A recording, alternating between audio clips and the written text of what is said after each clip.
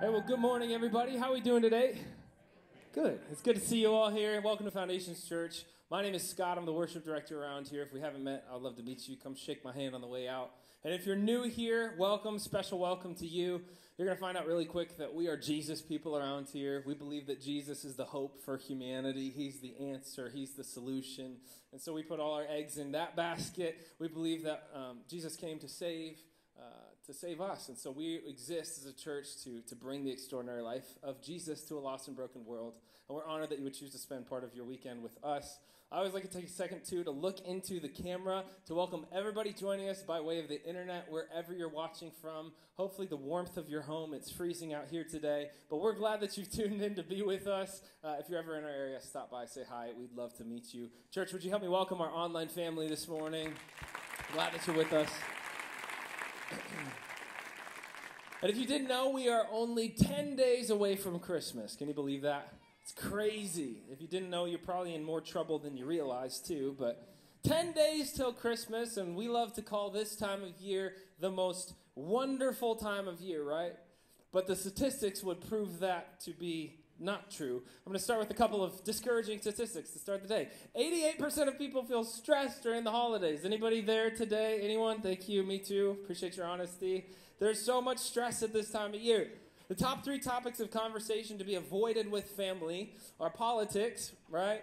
This is going to be especially fun this next year too, right? Personal matters, anything personal, like, hey, how you doing? None of your business.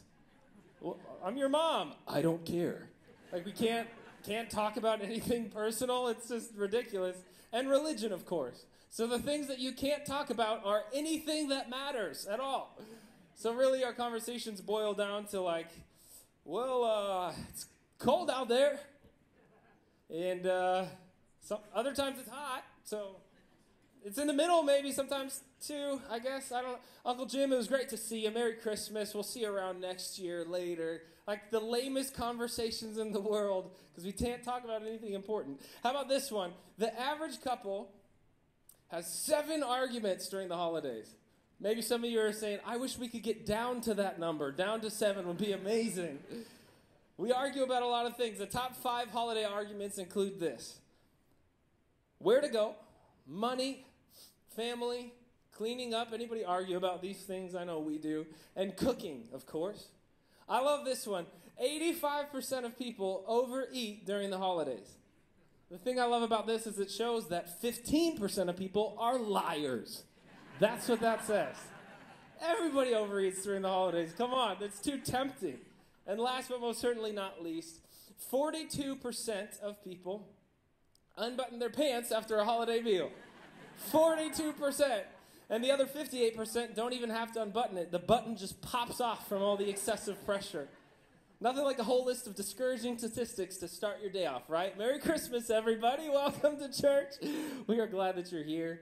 And if you've turned on your TV anytime in the last year, you know that our world is obsessed with bad news. It took me about five seconds to find these statistics. We are a people that are obsessed with bad news. And media outlets like CNN and Fox, they capitalize on this and they attract and they maintain millions of viewers on a daily basis with round the clock doses of bad news. And if your life is anything like mine, you've got no more room for bad news. It's probably why you came this weekend. Is anybody else in need of some good news this weekend? Yeah, me too. And it's why we come around this story every single week. This is good news that is cause for great joy for all people. The truth is, you know this, you feel this. Christmas is a really dark time. For many of us, this time of year is a constant and an excruciating reminder of the loved ones that we've lost. Or maybe Christmas is just a magnifying glass for your loneliness. Or maybe it's an ongoing in your face commercial reminding you of the fact that you don't have enough money to pay your bills, let alone buy presents. Maybe Christmas is the most stressful time of the year because it forces you to spend time with family members that feel like enemies, and there's bitterness, and there's resentment and brokenness, and it feels too messy to even start to work towards resolution or reconciliation. Maybe this Christmas marks another year of bad news regarding your health. The diagnosis is way worse than you expected, and your future is shaky, and your future is dark. If that's you this Christmas, if this year and especially this season is just marked by bad news, you need to know that there is good news. The good news for you is that you are not alone and you are not unseen in your struggle and in your darkness. God might feel a million miles away, but He is closer than He has ever been. Because the truth is, that 2,000 years ago, a people living in darkness saw a great light. And that light, Jesus Christ, shined into the darkness, and the darkness has not overcome it. So, if your world is dark and cold and lonely this Christmas, there is good news for you. The light, Jesus, has come. And this Christmas, Jesus, the light of the world, has the power to transform you in a way that exceeds your wildest imagination. We're going to talk about that today. Really glad that you're here. Would you stand with me? We're going to start our time in John's Gospel, chapter 8. John chapter 8 and verse 12.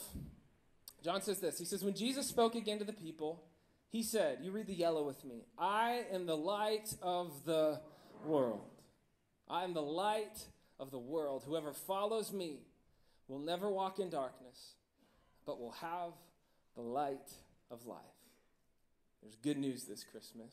The light has come. Let's pray together. God, we take a moment this morning to just say thank you for who you are, for what you've done for the reality that when we were living in darkness and we were running from you, that you came, you chased after us when we didn't want anything to do with you, and you shined your light into our dark world. So this morning, God, our world feels cold and dark and lonely and broken, and we need you. And so we ask that you would light up our life like only you can do. Speak to us now. We need you, we seek you, and we thank you for the promise that when we seek you, we find you.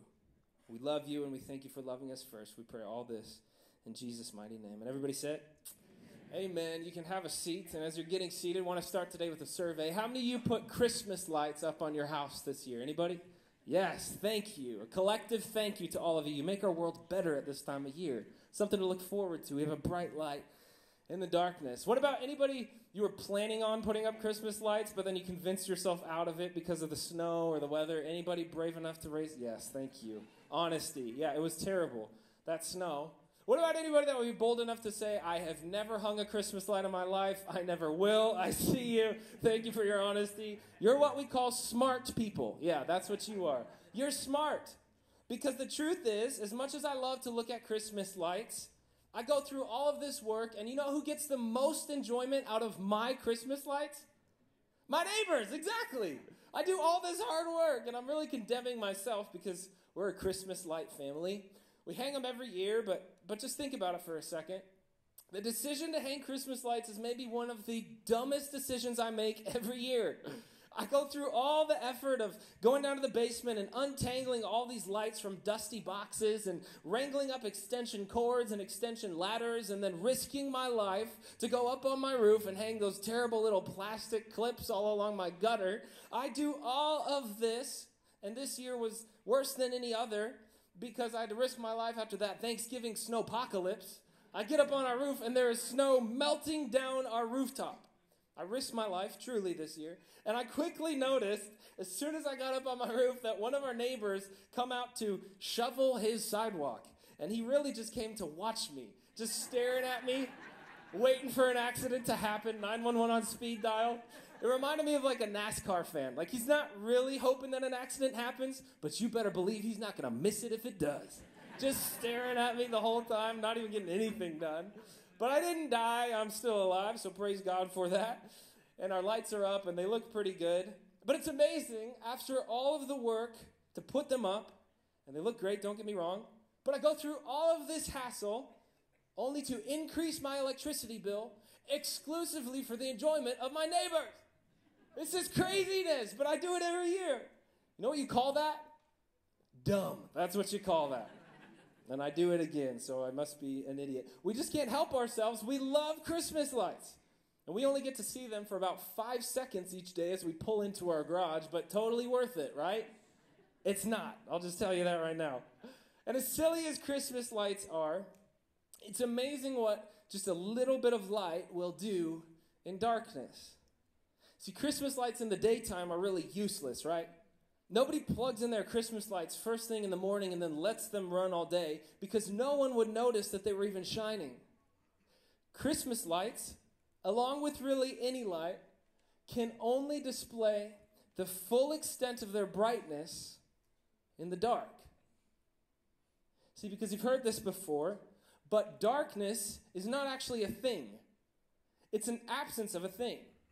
Darkness is the absence of light. That's how you define it. So you can't actually define darkness apart from the light. And darkness comes in all shapes and sizes, right?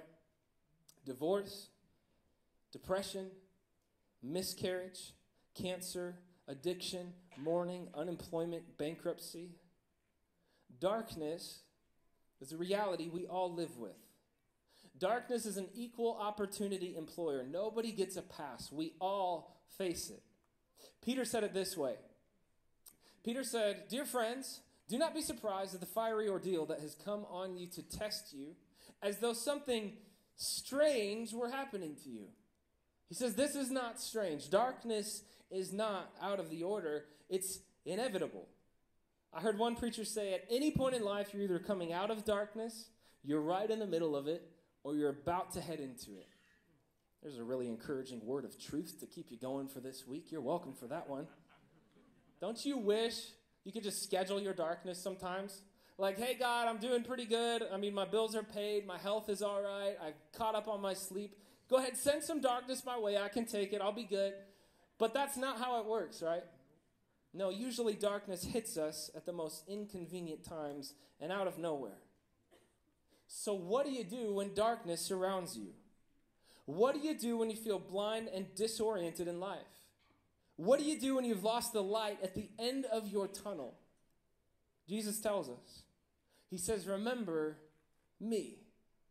He says, When life is dark, when you've lost control, you've lost your way, you've lost your hope, maybe you've lost your will to live this Christmas. When you've lost your ability to see the way forward, remember, I am the light of the world. Jesus says, I'm the light of the world. Whoever follows me will never walk in darkness, but will have the light of life. It's amazing just a little light can do in a dark situation. My wife Kayla and I have three kids, one of which is a three year old. And if you've ever parented a three year old before, you know that if their room is dark at night, they will not sleep and they will not let you sleep either. So every single night we put Zoe to bed and we try to put her down in darkness, but she won't sleep. She needs that little night light, and then she's fine. Just this tiny little night light makes all of the difference in the world. How many were afraid of the dark as a kid? Yes, thank you, honesty. What about you say, forget that? I'm an adult and I'm still afraid of the dark. Anyone? Yes, thank you. Appreciate that honesty. It's crazy, just a little bit of light, and it makes all the fear go away. The truth is, all it takes is just a tiny little light to dispel the power of darkness. And the good news for you today is that Jesus is not just a tiny little light. He's not just a little nightlight. No, Jesus says, I am the light of the world. The light of the world.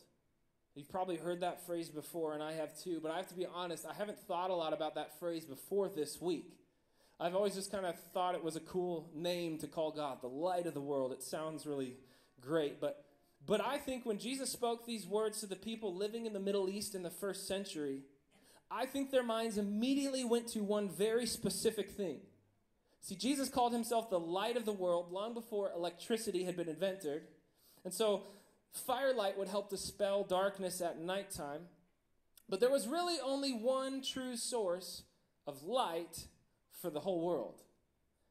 You ready for the world's easiest riddle? What is the one true source of light for the whole world? Anyone? The sun. Yes. You're very smart people at this 11:30 service.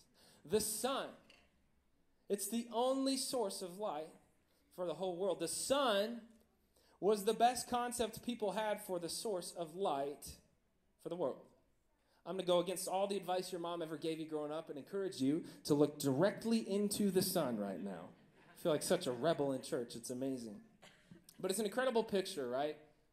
This massive ball of fire, the center of our universe, the source of energy and the source of life.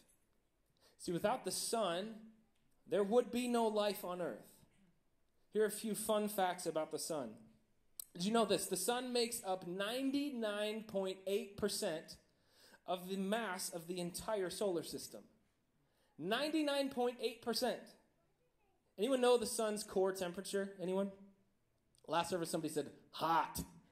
Appreciate that. It's 27 million degrees Fahrenheit, which makes the surface temperature of 10,000 degrees feel lukewarm. The sun is the closest star to Earth at 93 million miles away. And the sun's gravity holds the entire solar system together, keeping everything from the biggest planets to the tiniest particles of debris in orbit around it. The sun's radius, that's the distance from the center to the circumference, is 432,000 miles. To give you a little context, if the sun was the size of a front door, the earth would be about the size of a nickel. You could fit 1.3 million earths inside of the sun. The sun is an absolute marvel of creation, it is the light of the world. So I don't think it's any accident that Jesus called himself the light of the world because the sun is the most powerful thing we can see. So Jesus says, I am the light of the world. I am the source. I am your everything. Without me, you have no life. You have only darkness. And that is the beauty of the Christmas story. Jesus connects the dots in Matthew chapter 4 and verse 16. He reminds the people of the words written about him 700 years before he was born by a prophet named Isaiah. Isaiah says this that the people living in darkness have seen a great light. On those living in the land of the shadow of death, a light has dawned. Zechariah says it this way in the book of Luke, chapter 1, in verse 78. He says, The rising sun. Jesus was not the first to call himself the light of the world. Zechariah says, The rising sun will come to us from heaven to shine on those living in darkness. Jesus said, Before me, darkness reigned. But Merry Christmas, joy to the world, the light has come. See, this darkness was not just the reality of the people who lived before Jesus came. This is the reality of all of us before Jesus. Paul explains it this way in chapter 5 of a letter written to the people living in a city called Ephesus. He says this in verse 8 For once you were full of darkness, but now you have light from the Lord. And so live as people of light, for the light makes everything visible.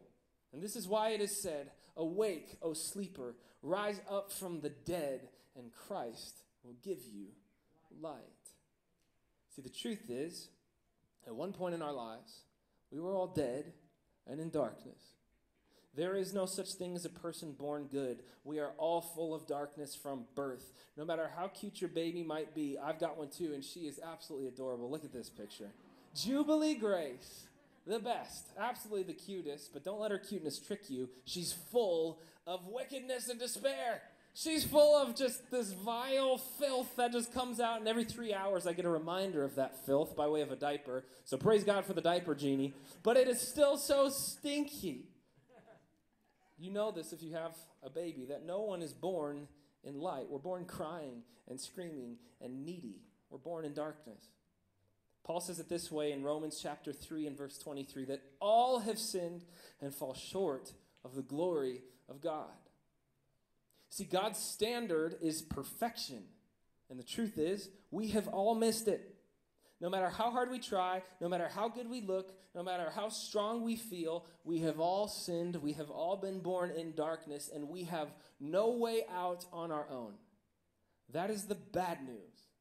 And that is why we call this story the good news. See, because if we were born in light, we'd have no concept of darkness and we'd have no need for light. But we all have a need for light. We all have a need for a Savior. And the good news for you today is that He is not far away. He is not hiding. He is not dead. He is not distant. In fact, He's been waiting since the day you were born for you just to turn to Him. And that's all it takes is just to turn to Him. A turn from darkness to light. A turn from, from sin and worthlessness to a life of, of worth. From wandering to purpose. That's all it takes is a turn. So Paul says, All have sinned and fall short, yet God, in his grace, freely makes us right in his sight. I wonder, is there anybody in this room today grateful for the grace of God in their lives? Yeah, me too. Yeah, it's worth celebrating too. God, in his grace, freely makes us right in his sight. And he did this through Christ Jesus when he freed us from the penalty for our sins. That is the beauty of what Jesus offers you this Christmas season. All you need to do is ask for the light, believe in the light, and you will receive the light.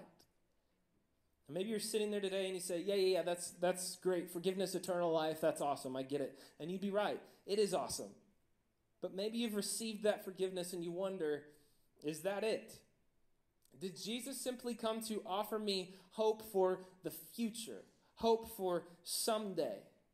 And the answer is no.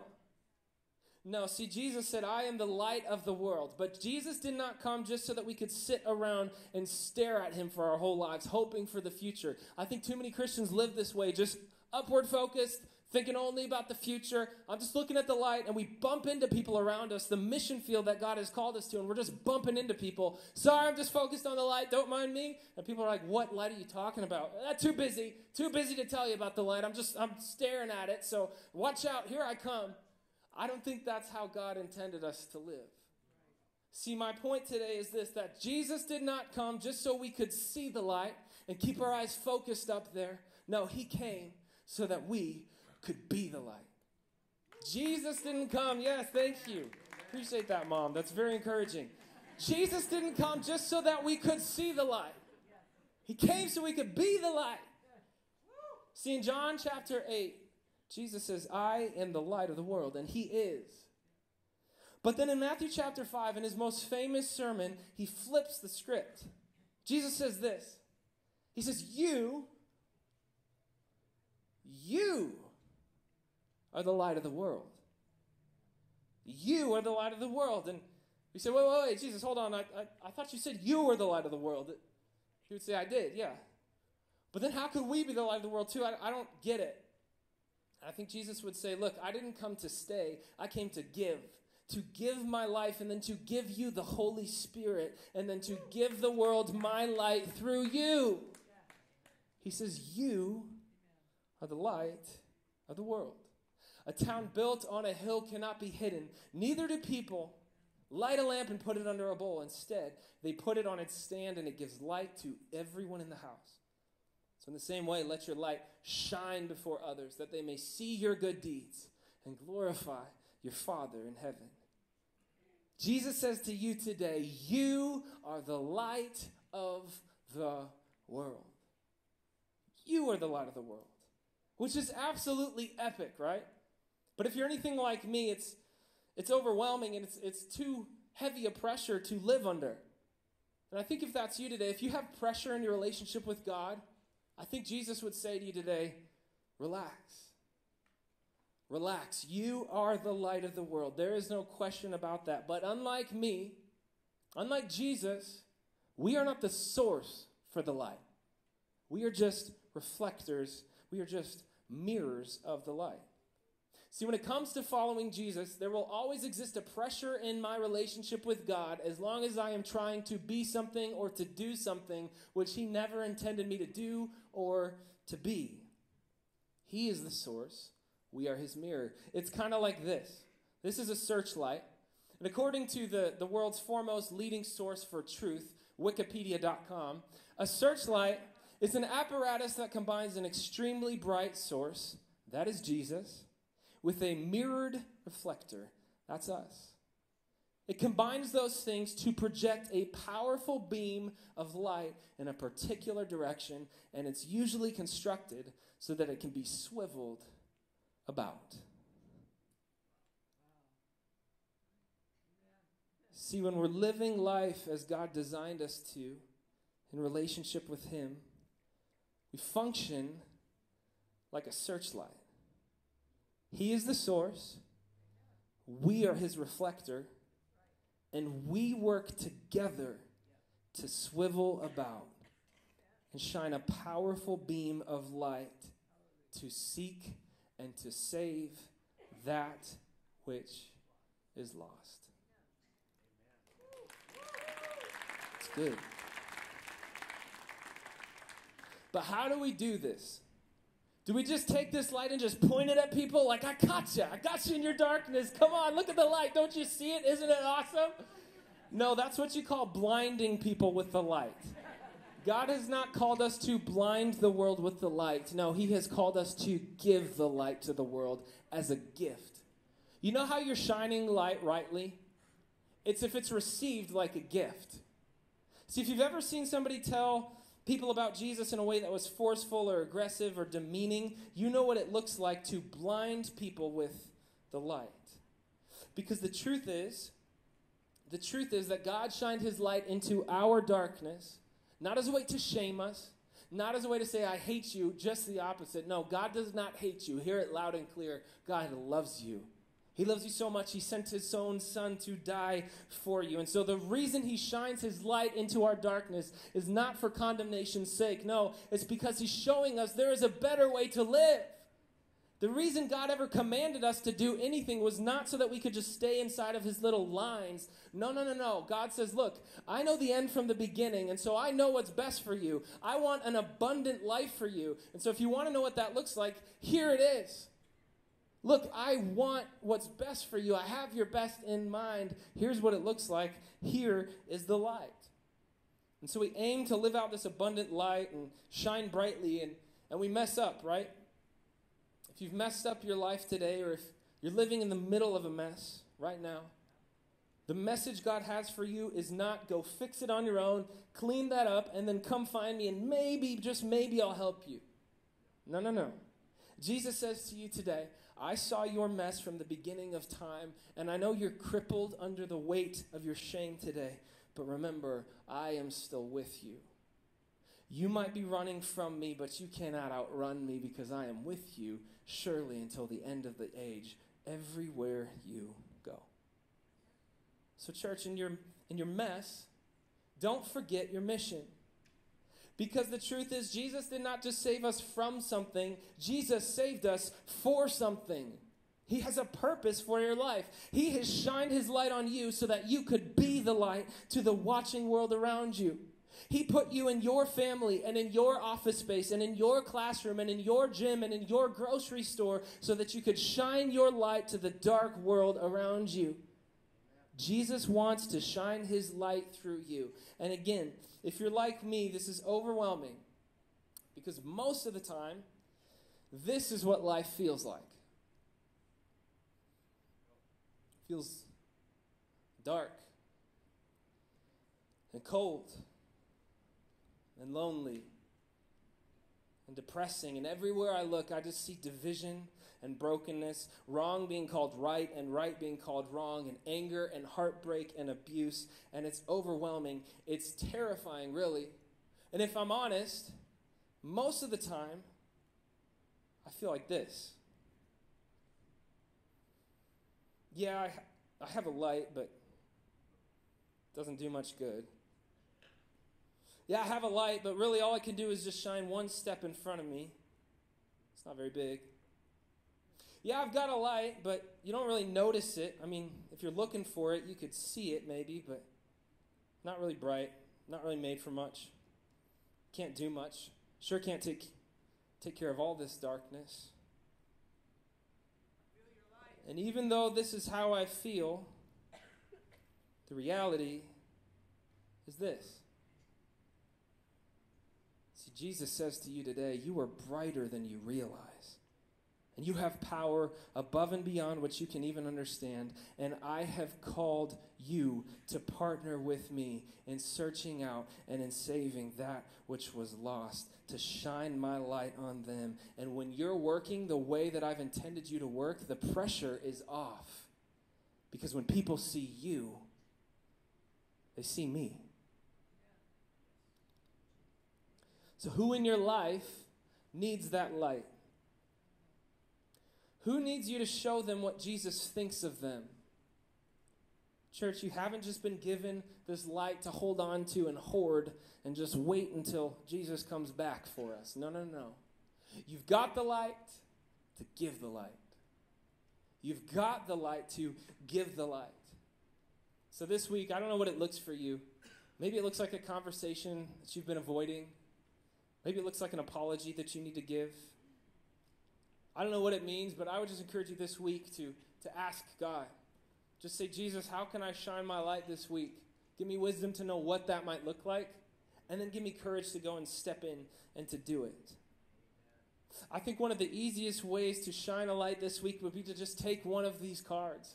Just take one of these cards, and you can take as many as you want, but take at least one and ask God to give you an opportunity to invite somebody to Christmas Eve services with a simple invitation. Four words is all you need. Just tell them, Come sit with me.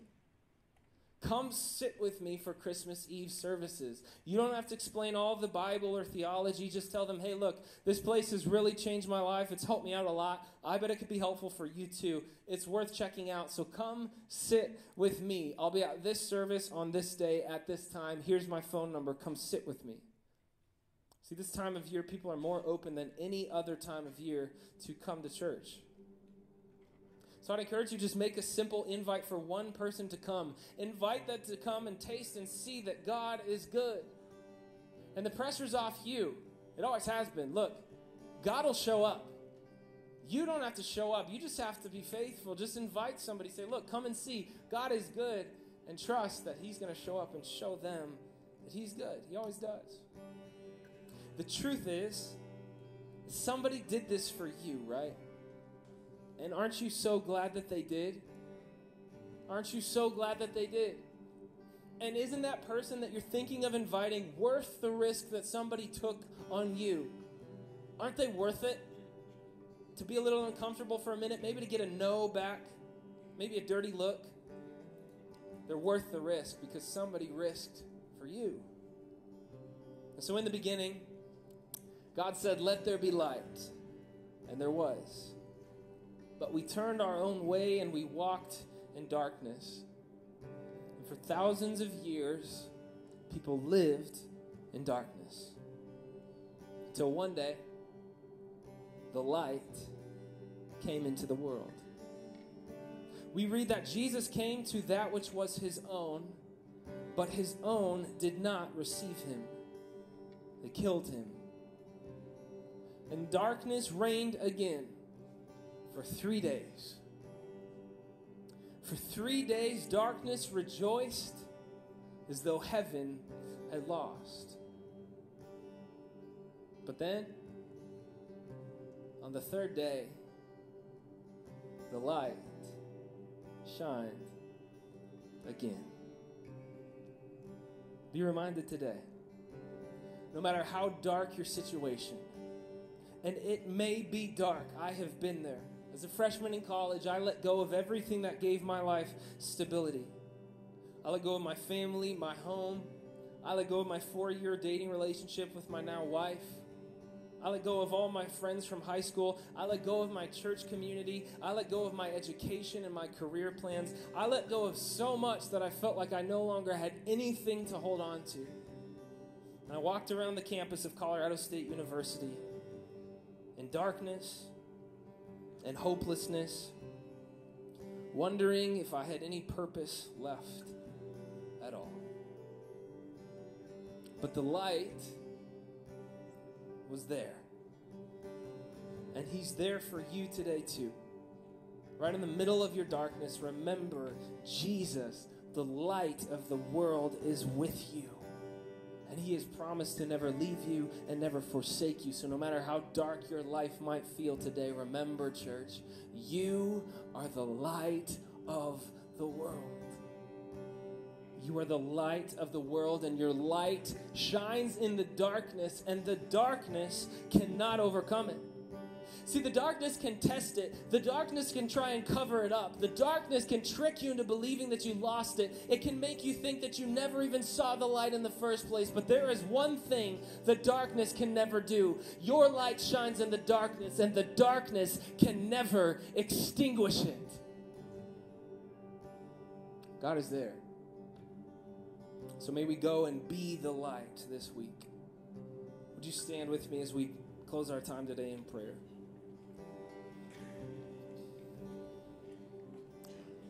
So, God, we say thank you this morning that you are the light of the world. And that you didn't leave us in darkness. You could have. You didn't need us, we need you. And so you came for us. You met our need as you always do. We say thank you for sending your son Jesus to, to shine brightly into our darkness. For some of us today, maybe we have never turned into that light before. And all it takes is to turn. All it takes is a simple prayer to say, Look, I've been living in darkness and I choose the light today. I turn from my darkness and I turn to your light, Jesus. And in an instant, you can be forgiven, set free, and redeemed. You can carry the light of the world both now and forevermore. All it takes is a prayer of faith to say, Jesus, I believe that you paid the penalty for my sin on that cross and you rose in victory from the grave on that third day. And so I no longer have to live in darkness and I choose to live inside of your life. And if you make that decision right now, you can do it right there where you're standing. I'd encourage you to come and pray with somebody after the service. But for many of us, we have made that decision. We've said yes, but our lives still feel dark, still feel hopeless, feel desperate, cold, and lonely. So, Jesus, remind us this week that we have not lost the light that you're with us and that you've purposed us to shine that light that we've been given, the light of the world, to the dark and watching world around us. Would you ignite a fire on the inside of us so that we might be purposed? Give us eyes to see and ears to hear who it is you might have us light up this Christmas season. Start a fire in our soul, Jesus. We pray in your mighty name.